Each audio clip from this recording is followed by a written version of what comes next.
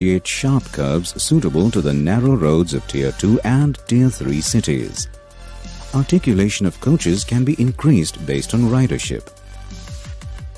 Metro Neo's overhead twin-wire traction system running on 750 volts DC is easily installable, safe for passenger operations and cost-effective. One DC traction substation every 2 to 3 kilometers are planned per section. In the event a substation fails, the adjacent substation can provide power to the section through the SCADA system.